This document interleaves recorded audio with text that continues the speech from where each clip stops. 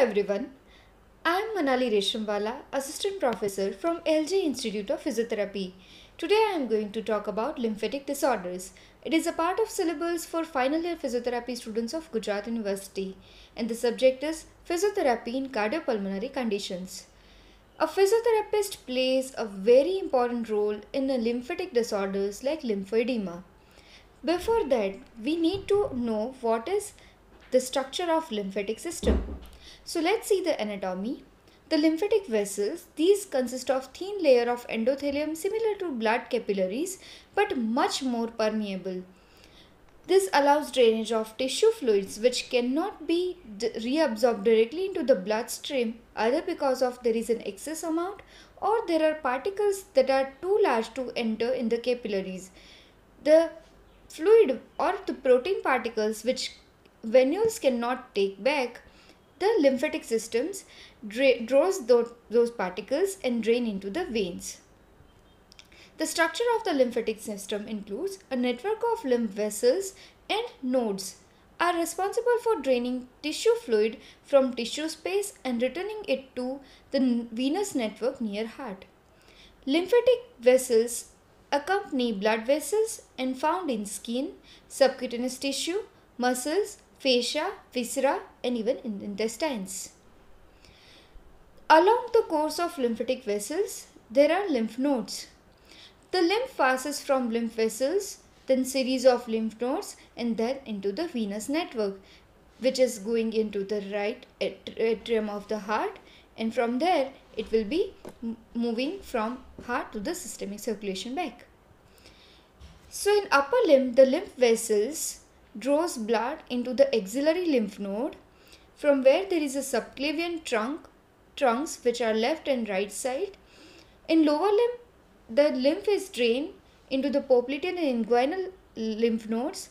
From there iliac lymph nodes and from there a lumbar trunk where it joins to form a cisterna chyli and then into the thoracic duct we can see here the long lymphatic vessel in the middle of the figure. The left subclavian and lumbar trunk then going into as a thoracic duct they both drain blood on the left side into the thoracic duct and on the right side the right subclavian trunk drain blood into the right lymphatic duct. This right lymphatic duct and thoracic duct drain blood into the junction of jugular and subclavian veins. Here we can see on the left side the right lymphatic duct on, at the junction of right internal jugular vein and right subclavian vein and here the curvy thoracic duct inside the left internal jugular vein and left subclavian vein. Let's see the lymphoedema. Lymphoedema occurs when lymphatics are unable to remove protein-rich fluid from the tissue. Normally, protein passes through the walls of the arterioles and the fluid is reabsorbed into the venules while the lymphatic tubules absorb the remaining protein particles through the pores. Usually, this lymphatic system works as a passive uh, movement the fluid in the lymphatic system moves as a passive movement because of squeezing of lymph vessels between the adjacent muscles contraction. Some of the contractility also the lymph vessels possess. They also have valves which will prevent lymphatics to flow back. The definition of lymphoedema is that this is a collection of lymph in subcutaneous tissue due to an abnormality of lymphatic system. Lower limbs are mainly affected with this. The types of lymphoedema are primary and secondary. Primary lymphoedema is due to inherent abnormality of lymphatic system and secondary is due to damage to the lymphatic system causing obstruction to the lymph nodes. Etiology for primary lymphoedema female are more affected than male. It can occur at any age. For example, at birth it is due to small lymphatics which may get dilated and tortuous. At puberty it is due to hormonal changes and at later in the life it is due to deterioration of the lymphatic system. The secondary lymphoedema in which there is obstruction of lymphatic system due to either malignancy, for example breast cancer in upper limb and pelvic tumor in lower limb may lead to have lymphoedema of upper limb and lower limb respectively. Then radiotherapy to pelvis or axillary region especially after mastectomy.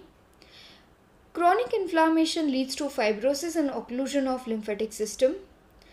And last is filariasis which is caused by infection through mosquito bites which is very common in developing countries like India, Africa, etc. In which cases we may see lymphoedema in lower limb very frequently. The pathology of lymphoedema, obstruction or anatomical abnormality lead to protein molecules escape in the surrounding fluid. The fluid stagnates and coagulates because of its increased protein content. There is fibrosis and thickening of the skin occurring. The changes are localized to subcutaneous tissue by the deep fascia. The next is the clinical features of lymphoedema. Usually unilateral lower limb is affected. Swelling increases gradually in primary. It begins distally and spreads proximally. But in secondary type of lymphoedema, it begins from proximal. Initially, there is pitting edema. Gradually, it becomes solidified. Enlargement of regional lymph nodes in secondary lymphoedema is very common to be seen. Management can be either conservative or surgical. Majority of the cases are treated with conservative management. So let's see conservative management in detail which will include physiotherapy, support and advice to the patient. Physiotherapy will first include pneumatic compression therapy. It is a machine. Let's see how its work. It consists of pneumatic pump and sleeve. Here we can see this is a pump and this blue one are the sleeves.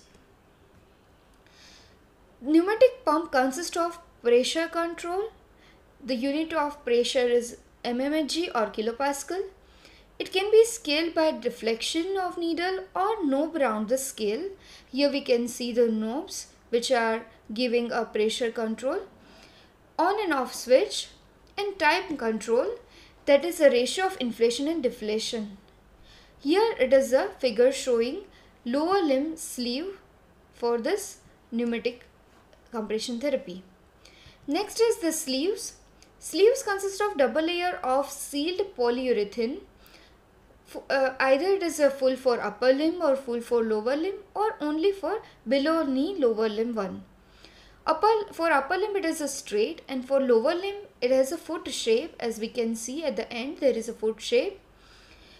It can be fastened either with a zip or velcro Sleeves with more air entry holes gives more even pressure. Next is pneumatic compression. Either it can be intermittent or sequential. In intermittent, there is the whole skin alternatively inflate and deflate, while in sequential, sections of the sleeve inflate and deflate in turning uh, turn, giving compression to limb proximally uh, first uh, to the distal area then to the proximal area. Application of it we need to remove all the cloth and jewelry whatever the tighten uh, bend or anything we need to remove. Then limb should be well supported and elevated. If circulation is restricted by sleeve, patient must feel may feel pins and needle sensation. It should be avoided by uh, maintaining a certain level of or amount of pressure Assessment prior to giving uh, PCT that is pneumatic compression therapy.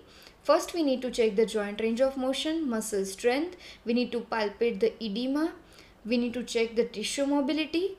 We also need to measure the limb for edema. Like we need to check bilaterally before treatment, just after treatment, one hour later the treatment and in the evening so that we can see the effectiveness of treatment. Here are some of the measurements given for upper limb and lower limb. For upper limb first we need to check at the axilla. Then 8 centimeter proximal to the olecranon process. Here is the olecranon process. Then 11 centimeter distal to the olecranon process at the level of wrist and at the level of web of the thumb. Same is for lower limb. First we need to check at groin then 15 centimeter above the base of patella, 15 centimeter below the apex of patella, at the level of ankle, that is at the level of malleoli, and middle of the metatarsals. Pressure. It should be usually same for upper limb as well as lower limb. There can be either fixed pressure or variable pressure method we can use. For fixed pressure, there is 30 to 40 second of inflation and 15 second of deflation. And in variable, we can increase or decrease inflation, inflation time even up to 60 seconds. Machine should provide same physiological condition as normal muscle contraction that should be kept in mind as the muscle contraction only provides lymphatic movement. The plan of treatment can be like for first week begin with 40 mmHg for 30 minutes twice a day, assess immediately and 1 hour later. Pressure is kept same and time is gradually increased until end of the week. The dosage is 40 mmHg for 1 hour. The treatment should be given 7 days a week. That means daily treatment should be given. For the next week, that is on the second week, we can increase the pressure by 5 mmHg per day until 65 mmHg. That is the maximum limit. Time can be 1 hour twice daily. That is, we are increasing the time of giving. If pain is a complaint, use low pressure and treat more frequently. For example, 40 mmHg 3 times a day or 30 mmHg 4 times a day. Treatment can be given as an OPD, IPD patient by physiotherapist or at home by a relative. Next is soft tissue manipulation which is a very important part of physiotherapy. We need to apply massage to the shoulder region before treating upper limb with pneumatic compression therapy to the area which is not covered by the sleeve. We can give deep kneading, effleurage to the axilla, picking up and rolling up to the mobilizing tissue around it Lastly, we can give finger and thumb kneading to the localized thickening. We can also give the same treatment near the pelvic region where the sleeve cannot give proper compression. Next is the exercise which is very important part. It is to aimed to aid removal of tissue fluid from subcutaneous tissue. Exercise program slowly uh, and limb should be in elevated position. It should be performed 3 times a day within 50 to 20 repetition of each exercise should be performed.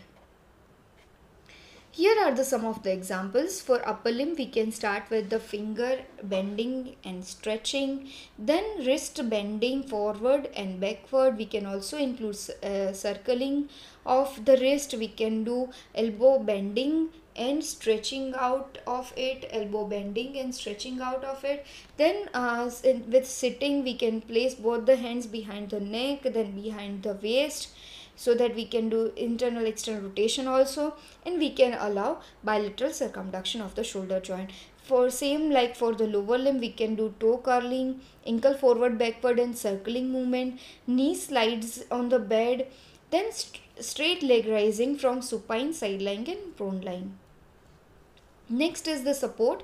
Patient should have to wear elastic stocking or elastic bandages for 24 hours. It should only be removed only during treatment and it should be starting for upper limb from the base of the fingers to the shoulder joint and for lower limb from the base of the toes to the groin.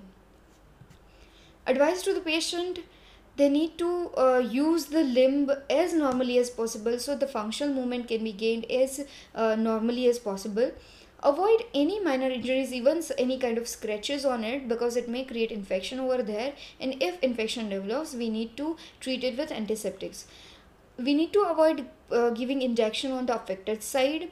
Uh, we need to ask the patient to not to take hot baths because it may increase swelling. So cold baths are allowed.